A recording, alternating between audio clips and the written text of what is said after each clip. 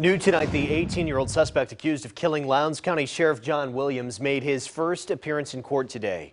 William Chase Johnson being held in jail with no bond. CBS 42's Rashad Hudson with new details from Lowndes County.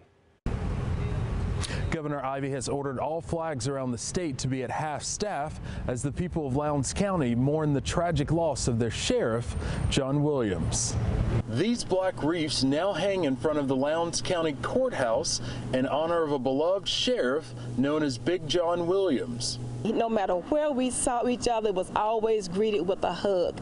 And how you doing, Sister Logan? And how you doing, Big John? Logan says Williams was a family man, friend, and deeply rooted in his faith.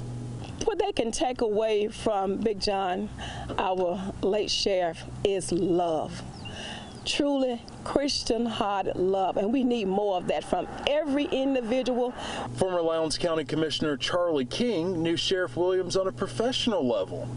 And when he needed cars or whatever the case was, we wanted to make sure that he had it so he can better serve our people here in Lowndes County. Police say witnesses tell them Williams was telling Johnson to turn down his music before he was fatally shot.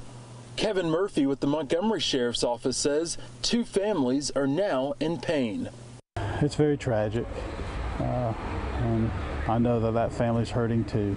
Uh, but you know, the Williams family is is hurting. I mean, I can't even imagine what they're going through. We have now learned that the suspect in this case, 18-year-old William Chase Johnson's father, is a member of law enforcement in Montgomery County. Reporting in Lowndes County, Rashad Hudson, CBS 42 News, local coverage you can count on.